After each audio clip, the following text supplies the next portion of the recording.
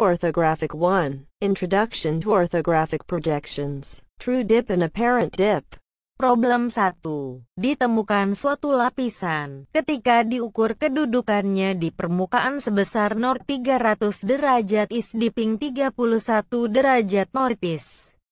Konstruksikan secara penampang keterkaitan keberadaan bidang lapisan dengan kemiringan lapisan. Berapa kedalaman untuk mendapatkan lapisan sejenis ketika berjalan sejauh 250 meter searah dengan kemiringan lapisan? Skala 1 banding 5000 Pertama, buat arah mata angin dengan menggunakan busur 360 derajat. Kemudian buat judul problem dan isi problem pada bagian kiri buku gambar. Kemudian masukkan kedudukan strike pada buku gambar, yaitu North 300 derajat is dan beri tanda panah yang menunjukkan arah pada kedudukan tersebut.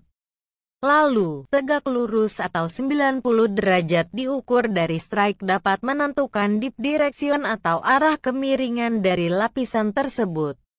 Kemudian, cara menentukan terudipnya yaitu dengan mengukur dari garis deep direction sebesar 31 derajat. Lalu tarik garis dari titik pusat yang menandakan terudipnya. Pada problem, diketahui bahwa skala 1 banding 5000 yang berarti 1 cm mewakili 5000 cm. Jadi, dapat dikonversikan menjadi 1 cm pada peta mewakili 50 meter di lapangan. Kemudian, diketahui bahwa jarak yang ditempuh sejauh 250 meter atau sama dengan 5 cm di peta. Kemudian ukur 5 cm pada di deep direction. Kemudian, tarik garis tegak lurus dari deep direction ke arah true deep.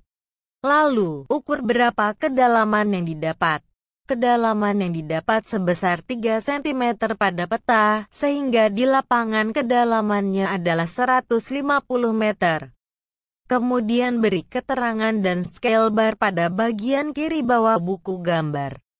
Problem 2. Sebuah lapisan batu pasir ketika diukur di permukaan memiliki kedudukan Nord 349 is dipping 21 northeast dengan penunjaman sebesar Nord 052 derajat is.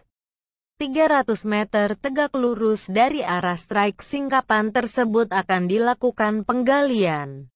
Maka dari itu, tentukan kedalaman penggalian di mana lapisan batu pasir tersebut akan ditemukan lagi.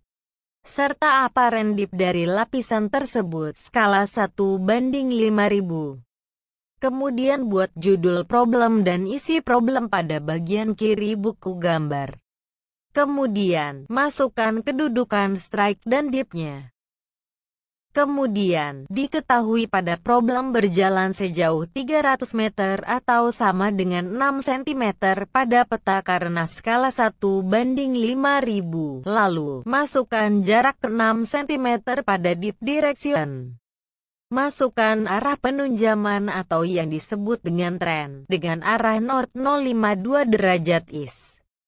Kemudian, buat garis strike 2 dengan cara mempresisikan garis dari strike 1 sampai dengan kedalaman antara deep direction dengan true deep. Karena, pada kedalaman tersebut, seakan-akan memberi bayangan mengenai garis strike 2.